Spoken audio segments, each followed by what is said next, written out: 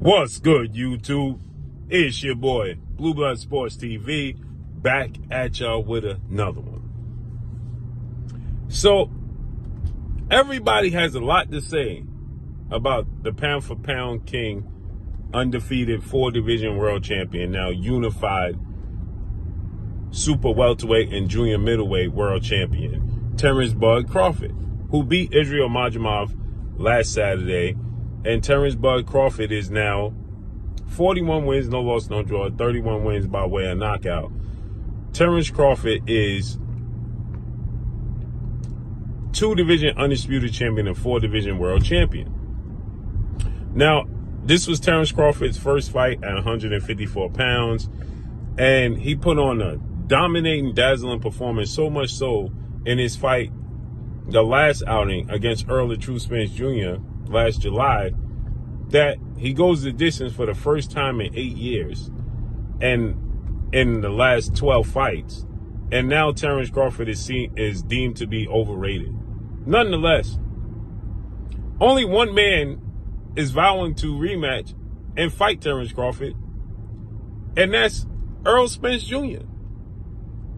Errol Spence Jr. is now confirmed that he and Sebastian Fundora will have their showdown. The time frame is questionable, but they're going to fight. Errol Spence and Sebastian Fundora for the WBC title. Errol Spence wants to rematch Terrence Crawford. Errol Spence got dropped three times and stopped in the ninth round. Yet Errol Spence wants to rematch and fight Terrence Crawford again. Vergil Ortiz Jr. is going in, into a fight tomorrow against Serhey, Serhey Baranchyk tomorrow night.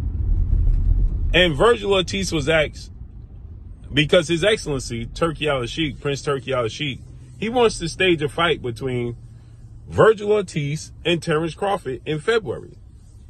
Well, Vergil Ortiz is talking about he thinks he's going to pursue the initial fight he was supposed to have as the co-main event to Terrence Crawford, Israel Madrimov. It was supposed to be Tim Tszyu versus Vergil Ortiz Jr., but Tim Tszyu suffered an injury. Now Tim Tszyu is going to fight. He's coming back and he's going to fight Bakhram Murtazaliev for the IBF title. Right? And Tim Tszyu expected to win. And Vergil Ortiz is saying he thinks he wants to go that route and fight Tim Tszyu Bataliev winner. But you fighting for the WBC belt, the interim belt tomorrow night. And then he says he wants to win a Sebastian Fundora versus Errol Spence. And then he says he wants to test his skill set against Terrence Crawford. He wants to fight Terrence Crawford. He says Terrence Crawford is the pound for pound best fight in the world. He wants to test his skill set against Terrence Crawford. And when asked, do you think you can beat Terrence Crawford in his prime? He's in his prime. Vergil Ortiz said, I'm not going to say I can beat him, but I, am going to say I, I think I can beat him, and I want to test my skills to see if I can beat him eventually. So he's not interested in the Terrence Crawford fight next. He wants to fight and assure have the best possible uh, scenario where he can become a world champion for the first time officially in his career. And he likes his chances better against Tim Tszyu and Errol Spence Sebastian Fundora winner than he does Terrence Bud Crawford. Sebastian Fundora vacated, now we know this is political, but he vacated his WBO title as he's the mandatory Terrence Crawford is for the WBO title, as he was the mandatory, made himself the mandatory for Tim Tszyu, but Fundora and Tim Tszyu ended up fighting for the vacant WBC title and Tim Tszyu's WBO title, and Sebastian Fundora got the upset victory in a hard, grueling, nasty fight that Tim Tszyu suffered a nasty gash on over his head. And so he's vacating the belt to not fight Terrence Crawford, but that's political. His promoter, manager Samson Lewkowicz is saying that, you know, uh, they can't make no money with Terrence Crawford. They rather fight Errol Spence in, in Texas. So they already have that set up.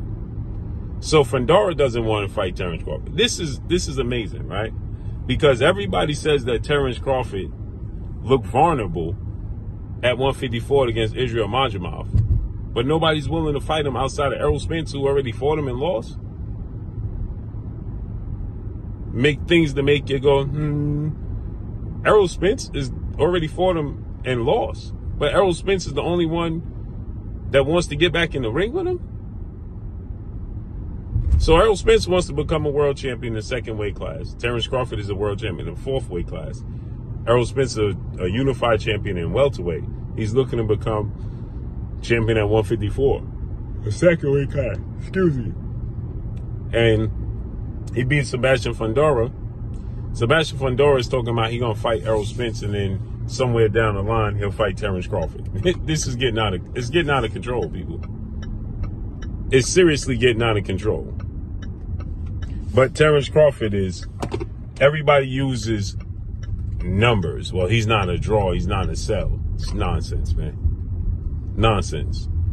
Nonsense. What kind of draw is uh um Mukhtar Bataliev? What what kind of draw is Sebastian Fundora where? Where's the proof of these things? But nonetheless, uh, let's see Jermell Charlo get back in the mix as well. So, uh, Errol Spence, Sebastian Fundora is confirmed. That's why Sebastian Fundora vacated his belt. So let's see how this unfolds and plays out, man. But that's all I got for y'all, man. Make sure you hit the like button, drop a comment in the comment section. Let me know what y'all think. Follow me on Instagram at Blue Blood Sports TV, all one word. That's all I got for y'all. I'm gone. Peace.